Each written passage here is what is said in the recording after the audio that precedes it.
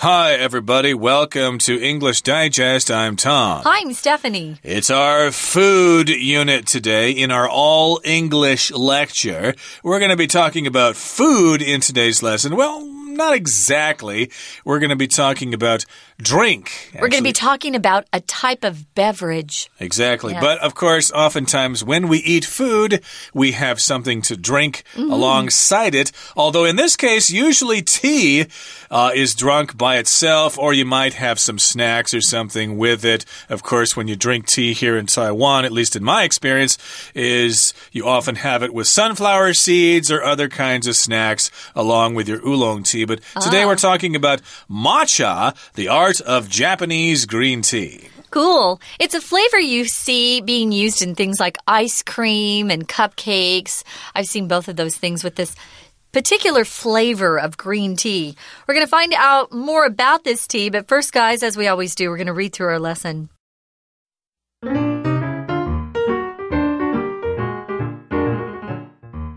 A handmade bowl rests in front of you. The dark green liquid inside it is covered in a layer of foam. You pick up the bowl with both hands and taste the drink, a bittersweet green tea. This is matcha or powdered green tea. During the Sung dynasty, powdered tea was fashionable in China. In 1191, Eisai, a Japanese Buddhist monk, introduced the preparation methods for powdered tea to Japan and made it popular there. People there called this tea matcha. In time, it was discovered that growing tea bushes in partial shade gave matcha its unique flavor. Nowadays, at the start of the harvest season, farmers cover their tea plantations with black sheets so the tea leaves are not exposed to the sun. This shading process helps improve both the taste and aroma of the tea. The practice is done in April, and tea leaves are then picked in early May. Leaves are steamed and then blow dried. Finally, the leaves are ground into matcha powder. In the 1500s, the modern matcha tea ceremony appeared, its goal being to promote relaxation and communication between hosts and guests. There are two types of matcha served in the ceremony usucha and koicha. Usucha is thinner and made from the leaves of bushes that are less than 30 years old. Koicha is thicker and made from bushes that are a minimum of 30 years old. In addition to the ceremonial side of matcha, the drink also has many health benefits. Matcha is loaded with antioxidants, which help prevent cancer causing free radicals from harming our cells. It's also nearly calorie free, boosts one's metabolism, and burns fat. Moreover, it helps people relax as it is rich in L-theanine. If you're ever in Japan and want to experience another side of the local culture, it's worth having some matcha in a meditative traditional tea ceremony. Okay, guys, we're going to get started with matcha, the art of Japanese green tea. Uh, I think it's probably a pretty uh, popular flavor that we're going to be talking about. Uh, let's start by describing a scene here. You've got a handmade bowl, and it rests in front of you. Uh, if it's handmade, someone actually made it with their hands and didn't use a lot of machines. So it's a handmade bowl and it rests or sits in front of you. It's got a dark green liquid inside, and that liquid is covered in a layer of foam. When you have a layer of something, it just means you have uh, something like a material or a substance that covers a surface or that is between two other things.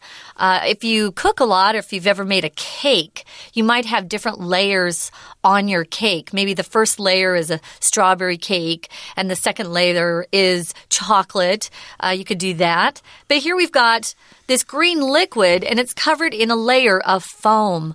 So on top of the matcha tea, there's something called foam which is, oh, it just looks like a lot of bubbles that usually uh, can be produced by stirring really fast. Bubbles, that's the foam. Uh, exactly. And also, there's some kind of packing material. You might sometimes run across uh, polystyrene foam or styrofoam, mm. which uh, I guess has small little bubbles. I think of foam when I think of uh, an espresso, for example, a latte, for example, or a cappuccino. They're going to have this uh, light milk foam on top of the coffee. Or if you go to the ocean and the waves are coming in, Tom, yep. there's foam on top of the waves as they crash down towards the beach. Or sometimes if a dog has rabies, it might foam at the mouth, etc. Yeah. In that case, it's a verb. But, uh, well, we're drinking this kind of uh, beverage here that's got this layer of foam on the top, and you pick up the bowl with both hands and taste the drink. What is it? Well, it's a bittersweet green tea. Of course, here in Taiwan, you all know a lot about tea. There's black tea or red tea, as you call uh -huh. it in Chinese. Yeah. You got oolong tea, and of course, you got green tea, which is what the Japanese prefer. And green tea, well, it's not so sweet and it's not so bitter. It's kind of in between. Uh, that's why we use the word bittersweet. It's got bitter and it's got sweet mixed together. And the next sentence just announces what we've just uh, actually described. It does. This is matcha or powdered green tea. If something's powder, uh, something that was originally a solid form, in some solid form, you kind of press it, crush it until it turns into a fine powder. Uh, that's what we're talking about today is matcha or a powdered green tea. And you can go to a supermarket and buy powdered milk, for example. It might be more convenient than buying milk from the 7 Eleven or something it like that. It doesn't taste as good. That's what people say, but it's still quite popular, and I guess it's probably more convenient for people living modern lives. But uh, in this case, we're talking about powdered green tea. It's not the leaves, okay? It's no. already in this powder, and there's a special way of preparing it. Uh, let's move on now to the next next sentence here in the next paragraph, it says During the Song Dynasty, powdered tea was fashionable in China. That's not surprising. A lot of things that are popular in Japan originally came from China. Yes. In the Tang Dynasty, or in this case, the Song Dynasty, which was after the Tang Dynasty. If you talk about periods of history in China, we usually use the word dynasty, Chao, to refer to different periods the Han Dynasty, the Qin Dynasty. Mm -hmm the Song, uh, the Qing, etc. Those are all dynasties. Yeah, we even use it in America to describe some political families, like uh, the Bush family. Uh, they, uh, you know, had two boys that were, no, they had the dad and the father that were presidents, and then another son who wanted to run for president. That's kind of a dynasty. So it can either be a family, uh, maybe of kings or rulers, like we're talking about here with the Song dynasty, and they've ruled that country for many years, or or if you are describing a family as having a, being a dynasty, it just means there are lots of generations, uh, and usually they have lots of money too. So sure. it's a period of time when a particular family ruled a country or area. But you can also call a group or family that has a big business and they control it. Uh, you can call that a dynasty as well. Okay, so this, of course, is uh, where it came from. It uh, came from the Song Dynasty, and during that time, powdered tea was fashionable, which yep. means it was popular. Yes. If it's fashionable, it's also popular, but uh, especially popular among powerful people and rich people and stuff like that. It was a status symbol to have mm. really expensive teapots, I'm sure, and to prepare really fancy powdered green tea. Well, in 1191, we've got Eisai. I hope I said that right. Uh, this was a Japanese Buddhist monk uh, he introduced the preparation methods for powdered tea to Japan and made it popular there. And like a lot of things, I guess uh, powdered green tea in China kind of faded away, but it remained popular in Japan. Uh, if you're in Buddhism uh, and you're a male and you shave your head and you wear the robes and stuff and you're studying, you're a monk, okay? But if you're female, we will call you a nun, okay? A Buddhist nun, and the male is a monk. There are monks also in the Christian religion, right? No, but you know what? There aren't actually. But I in thought Catholicism, aren't they? Aren't no, they monks too? no, they're priests. They're priests. Um, I thought the women were monks too. They're they're nuns, huh? Yeah. Oh, that's what my uh, understanding is. They're referred to Oh. as nuns. I've always but, called them uh, monks. Sorry- yeah, sorry, ladies. Wrong. I'm not a terribly religious Yeah. person, but in any case, here, uh, this is Eisai who introduced uh, this powdered green tea to Japan, and then it became popular there, and people there called this tea matcha, matcha, right? So, which is mocha in uh, in Chinese, Ah, right? Very close. Well, here in the next paragraph, it says in time or over time, it was discovered that growing tea bushes in partial shade gave matcha its unique flavor. So we've got these tea bushes, and you have to grow the tea leaves in a particular way. They need some shade. They don't like a lot of sun. So if something is partial, it's an adjective that means not complete, only part of something. Uh, so here we've got tea bushes that have probably are in the, the sun half the day and half the day they're in the shade and it gives the matcha its unique flavor. We also use partial guys in a phrase uh, uh, which goes, I'm partial to something. To be partial to something means you prefer it or you support something more than something else. Um, I'm partial to uh, dark chocolate rather than milk chocolate. So I prefer the dark chocolate over the milk chocolate. Um, so we've got this tea bush and shade uh, that's giving this matcha its unique flavor. If something's unique, it's one of a kind.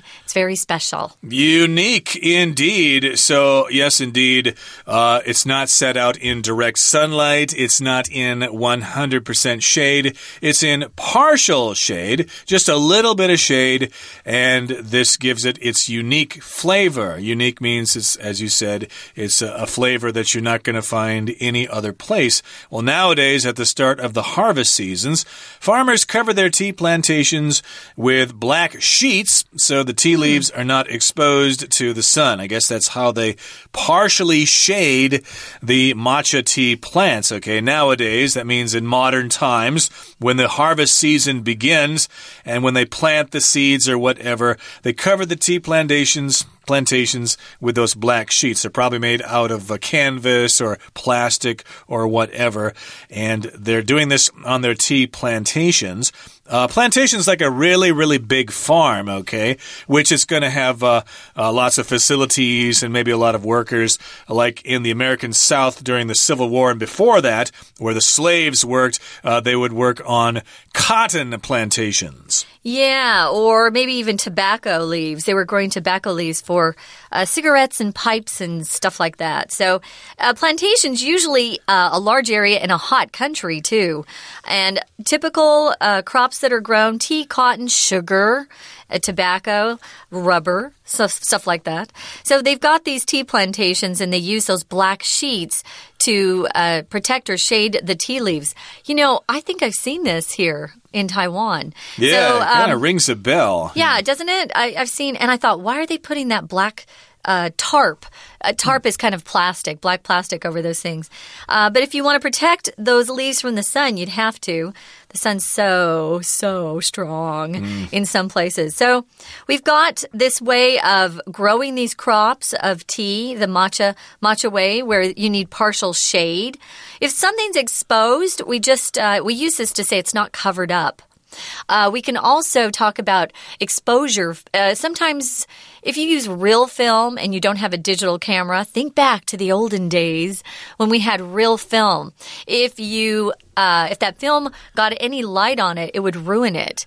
So uh, you didn't want to have that film exposed to light or the sun. Well, actually, you do if you're using film. You want it exposed just for a small amount of time Yeah. with light coming through a lens, and you're controlling the aperture and the shutter speed and stuff like that. I'm talking about opening up the back of the camera and just having your film. yeah, exposure. yeah, exposure is the noun, of course. Expose is the verb, Mm-hmm. and expose could be uh, used in lots of different situations. We want, we don't want to expose our children to violence, for example. Yeah, that's more uh, figurative. Literally, I could say, uh, "Oh, her her arms are exposed in that dress."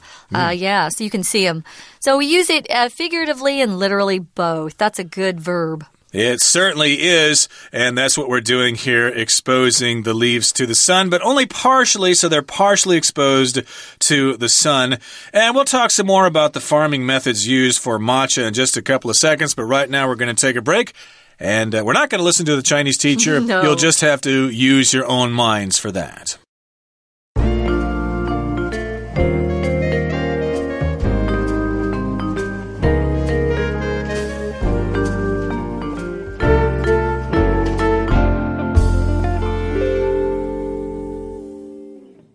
Welcome back, guys. We're talking about matcha, which is a very popular Japanese green tea. It's also a flavor that's being added to more and more foods these days. I've seen, uh, of course, the ice cream that is matcha flavored, Yeah. which is a little weird to me because we don't eat, we typically don't eat tea flavored food in America so much. Uh, but it's very popular here. I've seen uh, matcha. Uh, cakes and cupcakes. Yeah, Uh, yeah. yeah, things like that that. stuff. Mhm, Yeah. Have you had it before? Sure, I love it. It's uh, really great, ex Oh. except they sometimes put too much sugar in it. Oh. I like things plain. I like uh, plain coffee without uh, sugar, etc., etc. But uh, in this particular case, we're talking about matcha and how it's grown, how green tea is grown, and how it's processed. Again, it is grown in partial shade. It gives it its unique flavor, and then these farmers use these black sheets or black tarps Yeah. uh, to cover the tea plants on their tea plantations. Oh, can I just uh, for a second? I want to Oh, spell means. tarp. T A R P is how we spell tarp. Yeah. it's like a large uh, piece of cloth or something used to cover something. Mm-hmm. People sometimes cover their cars with large tarps so they don't get exposed to the sun or rain or whatever. Yeah, or if you're watching baseball and it suddenly starts to rain, they'll grab a tarp and cover the field. Cool. That's Yeah. a word that's not in today's lesson. So you're getting a really good deal Oh, today. we got lots of time to talk here. we do, but in any case, uh, we're talking about the process in which Hmm. matcha tea is grown. So, again, it's partially exposed to the sun, and this shading process helps improve both the taste Hmm. and aroma of the tea. Of course, if you're a tea connoisseur, you know that tasting the tea is not the only important part of it. The smell is also the important part of it, the aroma of the tea.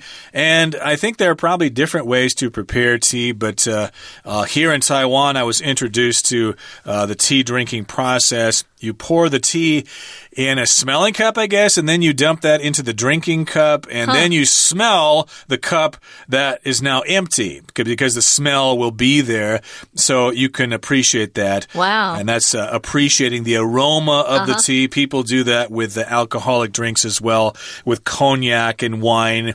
You not only taste it, but you also smell it to appreciate the aroma. Yeah, aroma is a word we use when the scent or smell is very nice. It's very pleasant. Uh, a scent is also a word that usually means very pleasing. Uh, but if you use the word odor, O D O R, ooh, that's not a good smell. Yeah, you don't want that. So it's got a wonderful aroma. The practice is done in April, and tea leaves are then picked in early May.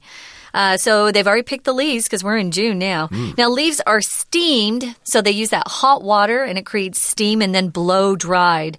Girls and guys, if you have a blow dryer, it's that tool you use to blow your hair dry very quickly. Well, they use air or hot air probably to blow these leaves dry as well. Then remember, we're talking about the matcha powder, right? So, how do you make the powder? You grind the leaves into that powder. Ground is the past tense form of the verb to grind, and it just means to break something uh, like corn or coffee beans into very small pieces. And sometimes you grind it so much it turns into powder. And there are different ways to grind coffee, for example. Yeah. Uh, you can uh, set it on your grinder if you'd like it ground finely or more coarsely. And in this particular case, the dried tea leaves are ground into matcha powder. I don't know if they're ground finely or coarsely, but I'm sure uh, there is a special way of doing that. And then they're sold on the market. Yeah, I'm going to guess that they are ground finely because it's a powder. If it's coarse, I wouldn't call it a powder. So, in the next paragraph, we're going to go back in history a little bit. In the 1500s, uh, the modern matcha tea ceremony appeared. So, that's when they first started having these elaborate tea ceremonies with matcha tea. Its goal was uh, to promote relaxation and communication between hosts and guests. Uh, if they were having this tea ceremony, I'm assuming these people are very rich and wealthy. I imagine poor people would be out working outside. If you're talking about a ceremony, guys, it's just a really important uh, social event, or maybe it's even a religious event where you have some traditional actions or procedures about the way it's performed. We use ceremony with weddings, a wedding ceremony. We also use it to talk about the Olympics. When the Olympic Games first start, we have the opening ceremonies. So, uh, this is a tea ceremony, so they've got specific actions and things that they do.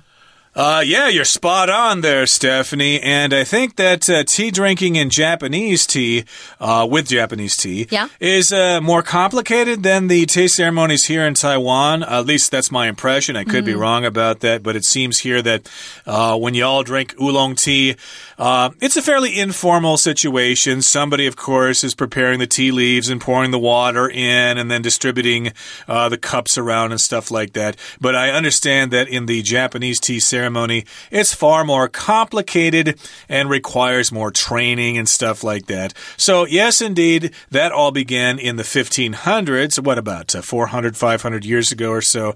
That's when the modern matcha tea ceremony began or when it appeared. And why do we have this tea yeah. ceremony? Well, its goal was being, or is being, being to promote relaxation and communication between hosts and guests. That sounds like a good reason here.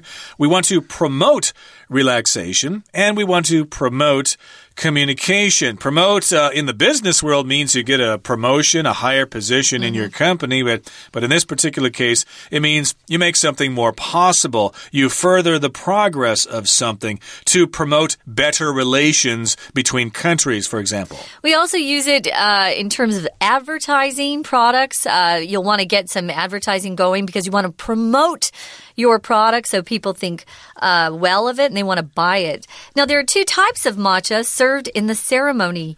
Um, I think you said, Tom, I'm not good with this stuff. So, us, usucha? Usucha? Uh, yeah, usucha. That's what it oh, says in English there. But uh, I have a feeling in Japanese they probably skip over that second U. They probably probably say uscha or something like that. Yeah, yeah. But don't quote me on that. I'm not a Japanese scholar. They're not the same. So usucha is thinner and made from the the leaves of bushes that are less than 30 years old. Oh, they're they're very young tea bushes. That's where they get those leaves for that. And then the koicha is thicker and it's made from bushes that are a minimum of 30 years old. Oh, I wonder what the difference in taste is. That's interesting. Hmm. Well, if you were a connoisseur, if you yeah. were an expert, you would know. But again, usucha in kanji in Chinese characters, I believe, is bocha, and koicha is nongcha. Just oh, that for, makes sense. Just yeah. for your reference, even though hmm. I'm not supposed to speak Chinese here, uh -oh. I'm making You're an exception here because technically I'm talking about something that is Japanese, yeah. not Chinese. so you can't fire me for that. And okay. one of our one of our vocab words is minimum, which just means uh, the smallest or least that is possible or allowed or even needed. Um, most kids need a minimum of 10 hours of sleep each night. Um, I need a minimum of, of, I would say, seven hours of sleep each night. So that's the minimum. That's the lowest number you can actually go to. So, uh, very interesting. They must have very old tea bushes over there. Uh, yeah, indeed. There are also speed limits on the highway. Yeah. And there actually, uh, there's a minimum speed. You can't go too slow, no. or else you're going to cause problems. Can't go too fast, can't go too slow. You've got to go just right. well, moving on now to the next paragraph here. It says, in addition to the ceremonial side of matcha, the drink also has many health benefits. So again, we're talking about the ceremony here, uh, the different kinds of leaves that you use. We're not really talking so much about the preparation preparation, how it's done. Uh -huh. I think it has to be ground a certain way. I went to uh, kind of a promotion for tea at City Hall last year. Oh, cool. And uh, yes, there was a, a, girl there in a kimono. Cool. And she was preparing in a special way, grinding it up and bringing them out to us. So, yeah, it seemed more formal -huh. than other kinds of drinks. But in any case, in addition to that ceremony, uh, there's also the health benefits, okay? Actually, green tea is good for you. I've been hearing that for many, many years. Me too. It seems like uh, nobody has anything bad to say about green tea. So, what is so good about it? Well, first of all, it's loaded with antioxidants. Uh, if it's loaded with something, it's got a lot of it. Sometimes, if you go to restaurants uh, where they have a lot of uh, comfort food like hamburgers and uh, mac and cheese and stuff like that, uh, of course, very fattening. It's loaded with something. Maybe it's loaded with cheese or loaded with um, sour cream, would be my favorite. So it's loaded with or has a lot of antioxidants. This word can be pronounced two ways. I just said it two ways antioxidant or antioxidant. They're both correct. It's a substance in some foods that really helps your body. It cleans it, it protects it from cancer, and it makes you look younger. So you want a lot of foods with antioxidants like blueberries.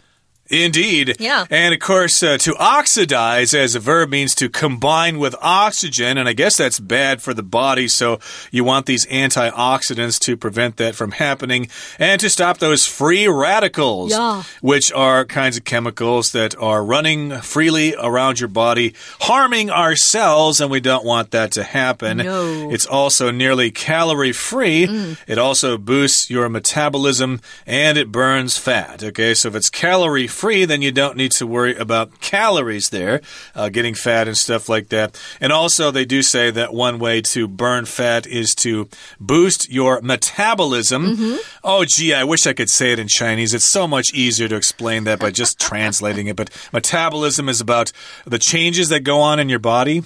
how fast you digest your food. You know, some people have a very fast metabolism, which means they can eat 15 donuts every day and they never get fat. That was my metabolism when I was young. Uh, as you get older, your metabolism slows down, which means you cannot eat the same amount of calories or you pack on the pounds. So be careful with that. Uh, moreover, it says it helps people relax because it's rich in something called L-theanine, uh, which is some sort of uh, I don't know substance that is good for your body. Um, I am not a scientist. I'm actually looking this up to see uh, what it is. Maybe it'll tell us a little bit more. Uh, I, I think they're mentioning it here just implies that it's something that's good for you. We could just leave it at that. But uh, it Mm. Is it a chemical that Yeah. is in green tea and it's good for you. So if you're ever in Japan and want to experience another side of the local culture, Yeah. it's worth having some matcha in a meditative traditional tea ceremony. So, uh, yes, indeed, when we think of green tea or matcha, we do think of Japan. And of course, a lot of people go there and they go there for that very reason. Although, you know, people here in Taiwan like these things too. So I'm imagining there are opportunities in Taiwan as well to experience matcha in the tea ceremony, but uh, you might have to pay through the nose for it. Oh, kind of expensive, huh? Maybe, um, yeah. I've seen some beautiful tea ceremonies, but only on TV. Uh, the Travel Living channel always has something uh, that's kind of fun, but they can be very elaborate. So you have to practice a long time before you're actually uh, very good at performing the tea ceremonies. But I think it would be fun to go watch and, and see what it's like. Me too. It's very glamorous, I must say. Yes, So- it's worth having it, Yeah, which means it's beneficial. It's worth it. We say that a lot. If something is beneficial, it's worth it. It's been worth it to live in Taiwan and improve my Chinese, for example. And sometimes we use worth it to talk about things that are tough, you know? Hmm. All that work, all that study I did in college was worth it because I graduated with a great degree. So uh, it's worth it having some matcha in a meditative, which means you're meditating. Close your eyes, you try to get rid of all of the thoughts, and you breathe deeply. That's meditation. This is the adjective form meditative. So it's a relaxing ceremony, and both of us recommend that you try it if you get the chance. Well, Tom, we have no we have no Chinese teacher, so we just have to wrap the puppy up. Let's wrap this puppy up indeed, Okay. but I'm getting thirsty here, so I think after the lesson I'm going to book my tickets for Japan Cool. to have some matcha. Gee, where should I go? Should I go to Kobe, Osaka, Fukushima? Kyoto. Kyoto's my Kyoto, uh, favorite. Kyoto, yeah, that's a good that's a good choice. Okay, that brings us to the end of our lesson for today. And it's time to say goodbye. So thank you for joining us. From all of us here at English Digest, I'm Tom. I'm Stephanie. Goodbye. See ya.